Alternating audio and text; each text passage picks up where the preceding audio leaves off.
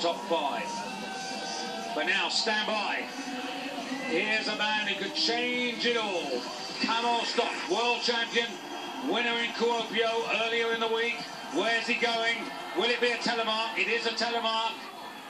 It's there, but it's not going to lead. 131. It's where he was in the trial round, but he went to 138 in training here. And this is not tip-top. Skis were split. Telemark isn't the best. Left ski canted in 18 and a half. And as a result, in third place, but he's only two meters off Kranjec. Good first round, good and competitive.